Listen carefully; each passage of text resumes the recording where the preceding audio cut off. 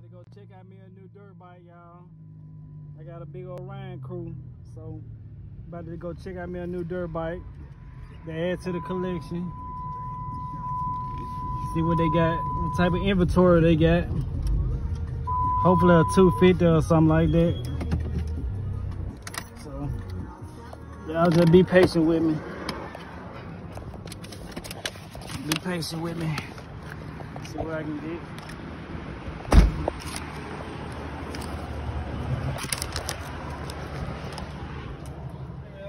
How you doing? How you doing? All right, all right.